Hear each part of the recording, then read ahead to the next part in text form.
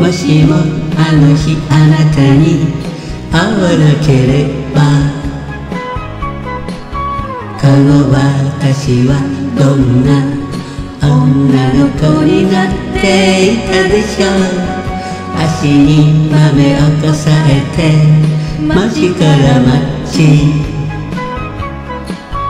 行くあてもないのに涙で歩いていたでしょう。悪い遊びを終えていけないこと。人に呼ばれて泣いたでしょう。今も思い出すたび胸が痛む。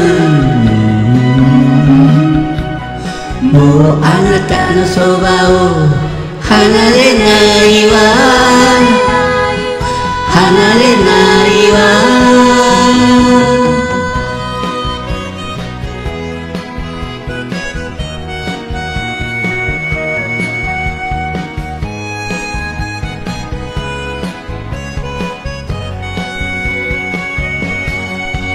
もしもあの日あなたに会わなければ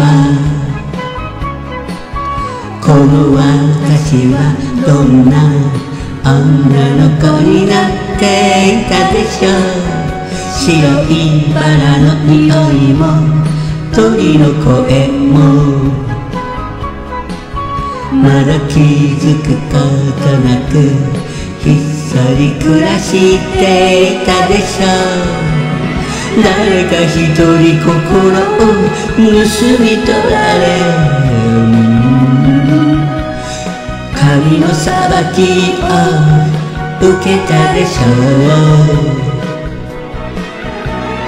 今も思い出すたび怖くなるわもうあなたのそばを。